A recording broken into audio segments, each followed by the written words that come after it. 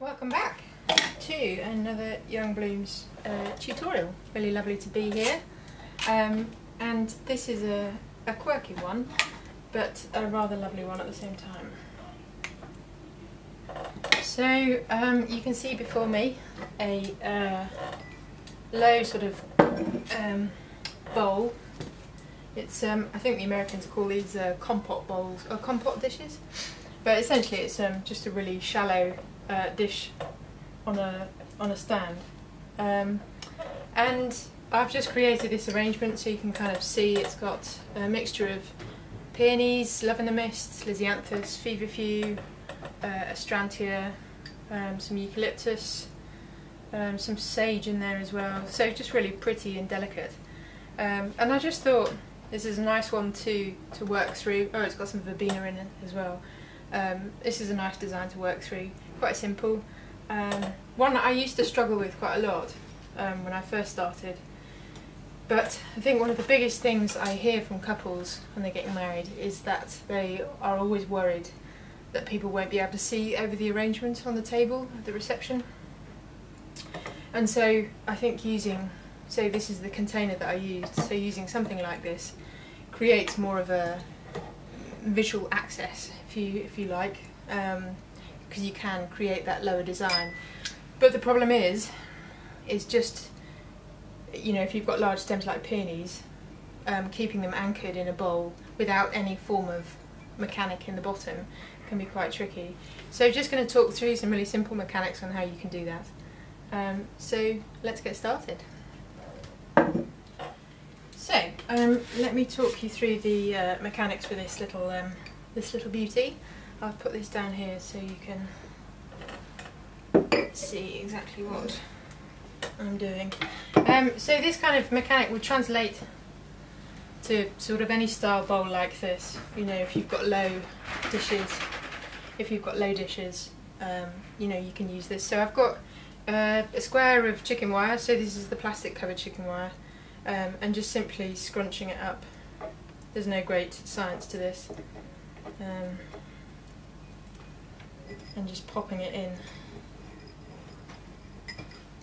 So with this, I have, I mean I've used these for a number of times for a, a wedding, um, and I originally thought actually you could just do a hand tie and pop them in, but actually, realistically, that's um, the the shortness of the hand tie, the binding point, it just sort of unbalances, it's not very secure, so wasn't a good mechanic. So I've just got pop tape and just a short bit over the side, you don't need much.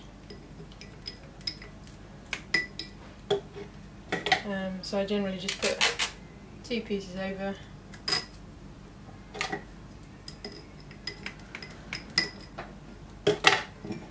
and then maybe, I don't know, you could do two pieces over the other side. And there you go, really simple. Um, so that will keep everything nice and secure. I mean, you kind of think actually could I just use the tape and not put the chicken wire in the bottom, but actually the, the uh, chicken wire is, is helps things be even more secure than um, just having that tape because they've got something to anchor to when they go into the, the vase. So there you go, um, your starting point for this, uh, this low design. So let's get cracking. Okay, so mechanic is all sorted, um, vase is full of water, um, and away we go. I've got um, feverfew and foliage to start. Um, I'll just put this feverfew down here. So essentially you're just using lots of little offcuts for this really, um, short bits. It doesn't need to be anything hugely substantial. Um, so you can raid your garden or um, you know uh,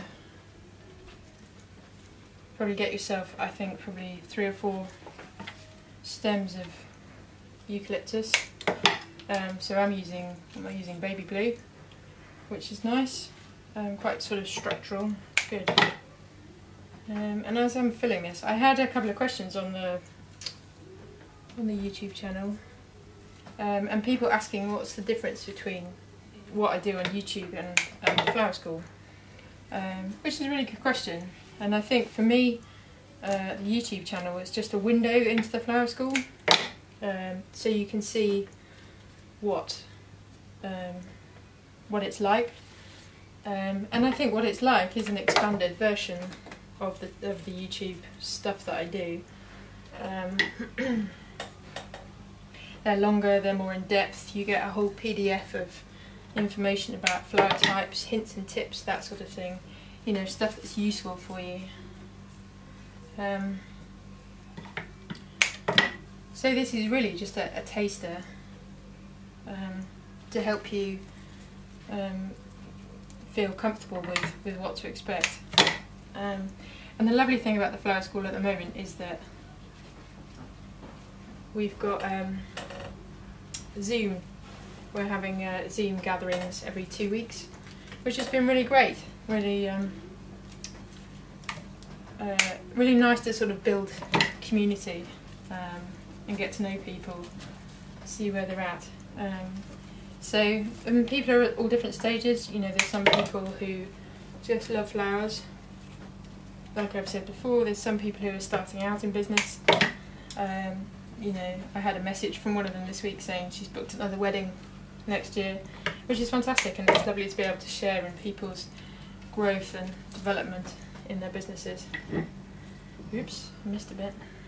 So you can kind of see I'm just filling it up. It looks like two ears coming out, doesn't it? Um, but just sort of general, just very relaxed um, feel to it. You don't want to go too high. Um, you want to keep it sort of fairly low key. So just using these short bits of feverfew and poking them in.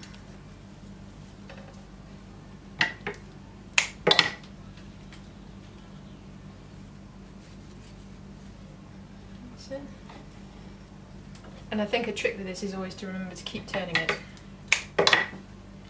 Um, and I mean another useful tip is um, is to look at the people that you admire on Instagram and um, and copy their designs because I think this for me was always felt difficult to get because I worked in um, an Interflora shop and designs sort of early 2000s were very tight, very roll, you know, roundy. What do they call them? Roundy moundy, something like that. They were very sort of um, tightly bunched, and so this more relaxed sort of style I always felt slightly unnerved by. I don't know why.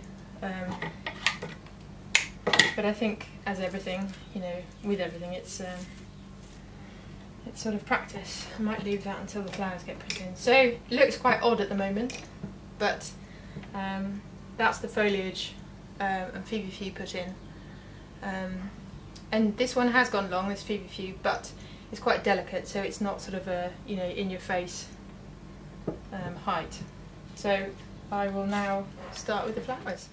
Okay, so I've just got the, uh, I guess the more delicate bits uh, to put in um, to finish off. Oops. And if you're struggling to um, get stems in, just, um, I think it's kind of like a twist and, uh, turn and twist sort of approach if you feel like um, there's not much space in the vase. I always find it's really important to keep turning as well because I think otherwise you can end up with a, a bunch of flowers in one place and not much in the other.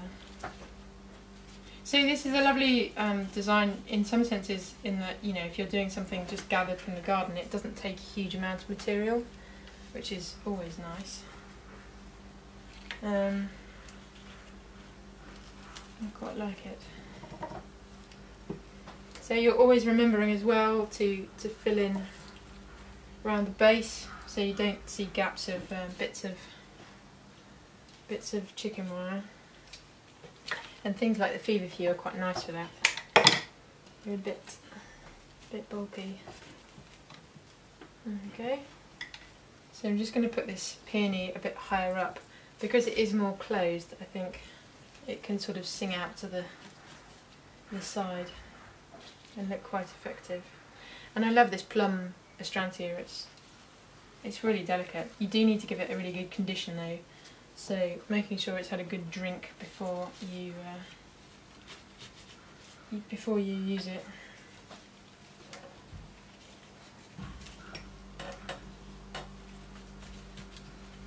So just popping these final bits in. Nice piece of astrantia.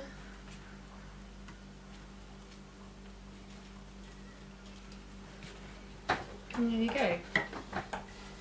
So really simple uh, technique, really simple mechanics um, creates a really beautiful um, arrangement um, that is low enough for a, a wedding table centre um, and looks really effective. It's nice and relaxed, quite informal. Um, so I hope you found that helpful. Lovely to share it with you as always.